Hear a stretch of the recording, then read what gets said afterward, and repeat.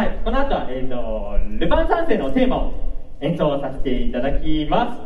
今回はちょっとビッグバンドまではいかないんですけどそういう感じの雰囲気の編成でやらさせていただこうと思います。はいじゃあ最後1曲ですのでもう手拍子だったりなんだり思いっきり楽しんでお聴きください。本日はありがとうございました。